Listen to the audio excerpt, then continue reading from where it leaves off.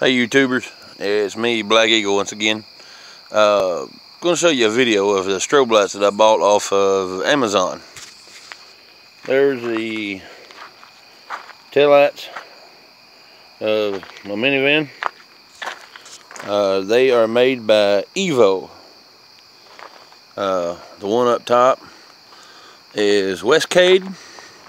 It is a green strobe as you see. It's green.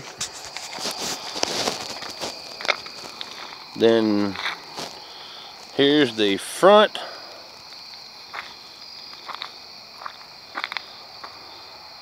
The one right up top there in the middle of the windshield is made by Westcade.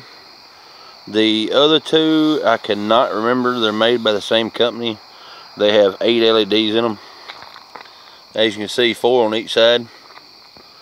Um, here's my headlights. And that's what it looks like. The front end is lit up very very well. All I have left to do is the back. So I wanted to see what they look like. Thanks. Have a good one